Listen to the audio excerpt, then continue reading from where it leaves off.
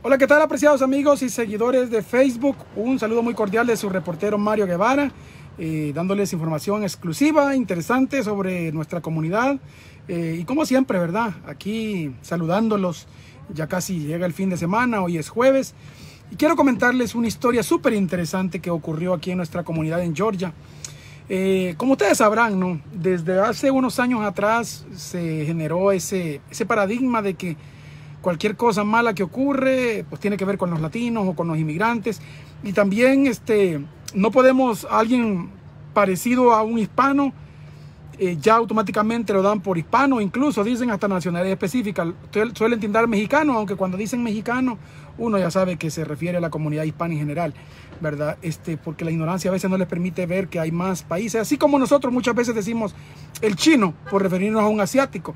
A lo mejor es tailandés, a lo mejor es de, de, de, China, a lo mejor es de Japón, a lo mejor es de, Vietnam, etcétera. Pero para nosotros, el chino, por los, por los ojitos. Pero eso igual pasa con, los, con la comunidad latina. Quiero comentar el caso de una anciana, una señora de 80 años, que se metió a un edificio, andaba en alrededor de un edificio con un cuchillo en la mano, un cuchillo de cocina en la mano. Obviamente la gente se asustó, llamaron al 911, especialmente porque había unos muchachos en los, en los alrededores, unos jovencitos, unos adolescentes, era un grupo de Boy Scout. Y el reporte a la policía fue, aquí hay una viejita hispana, aquí hay una señora hispana, una mujer hispana que anda con, con un arma blanca. Y llegó la policía a buscar a la anciana hispana, ¿no? Y llegó la policía, obviamente, cuando la rodearon a la señora, sí se dieron cuenta de que efectivamente era una mujer ah, de avanzada edad, 80 años, después se comprobó que andaba un cuchillo en la mano. Obviamente ya eso era un peligro. Los policías sacaron su pistola, le ordenaron alto, le ordenaron que tirara el arma, la anciana no les hizo caso, terminó electrocutada, le tiraron el taser y eh, la electrocutaron.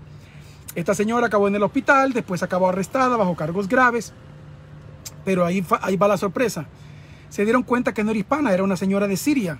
Eh, y que para colmo tenía problemas mentales, tenía unos problemas emocionales, eh, unas, dificultades mentales y obviamente no, por eso estaba actuando de esa manera errática. Gracias a Dios ella está viva para contarla. La acusaron de conducta peligrosa y otros cargos, incluso de querer atentar contra un oficial de policía, pero al final, ¿verdad? Ella eh, quedó en libertad tras el pago de una fianza, su edad le ayudó mucho, sus antecedentes también, el hecho que el juez supiera de que ella estaba enfermita, etcétera.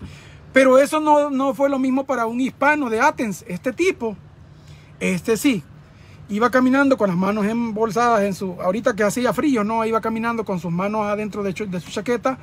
Los policías lo rodearon, empezaron a exigirle de que... Eh, la policía llegó, esto fue en Athens, Georgia, la policía llegó porque los vecinos llamaron que había, había un tipo con un machete. Cuando la policía llegó, encontraron al sujeto, concordaba con la descripción y lo rodearon. Le exigieron que se entregara, que sacara sus manos, pero él nunca sacó sus manos, al contrario, iba caminando y en un descuido sacó el machete y ahí fue donde los policías le dispararon. Él sí le dispararon con el arma letal. A él no lo electrocutaron como a la viejita, sino que a él casi lo matan. Le pegaron tres tiros, dos tiros, cayó al suelo, se, se devanaba ante el dolor. Eh, gracias a Dios sobrevivió para contarlo, lo metieron preso y a él sí lo van a acusar de eh, atentar contra la vida de un oficial de la ley, un delito grave, puede pasar hasta años en prisión esta historia que nos sirva, ¿verdad? Primero para saber de que aquí no podemos hacer, darnos el lujo de andar con un arma en las manos, no sea arma blanca o sea un arma de fuego. Recordemos el incidente que acaba de ocurrir aquí en Awkward, Georgia, donde un tipo de la raza blanca llegó armado, abrió fuego contra tres spas eh, asiáticos y mató ocho personas en total. Eh, recordemos lo que pasó, ¿verdad? Incluso dejó heridos también dos, dos hispanos, hay víctimas entre este tiroteo, entre estos tiroteos, pero ante este temor de que hay de que alguien armado haga un atentado como esto, uno no le puede dar el lujo de andar con un arma exhibiéndola, ni siquiera un arma blanca, porque un arma blanca ya es mortal también. Y lastimosamente hay gente que, se le olvida de que aquí la policía no tiene las mismas facultades que en El Salvador, que en Honduras, que en México. Aquí la policía primero dispara y después pregunta, tristemente, ¿verdad? Entonces así han matado muchos inocentes, pero es así como funciona la ley. Si el policía se siente en peligro, puede disparar.